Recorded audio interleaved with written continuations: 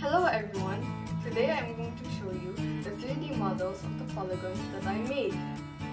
What we have here is a quadrilateral, pentagon, hexagon,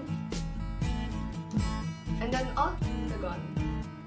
The materials we use to make these 3D models are popsicle sticks and a glue gun. Hope you like it! A polygon is a flat two-dimensional shape with straight sides that are fully closed. The sides must be straight, not curved.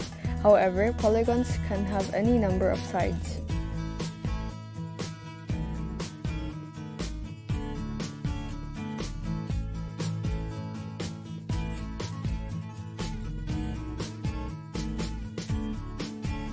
Quadrilateral a quadrilateral is a four-sided polygon having four sides and four corners.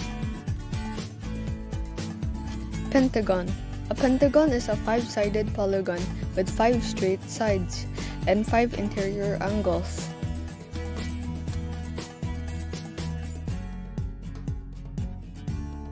Hexagon A hexagon is a six-sided polygon it is a polygon of six angles and six sides. Octagon An octagon can be defined as a polygon with eight sides, eight interior angles, and eight vertices.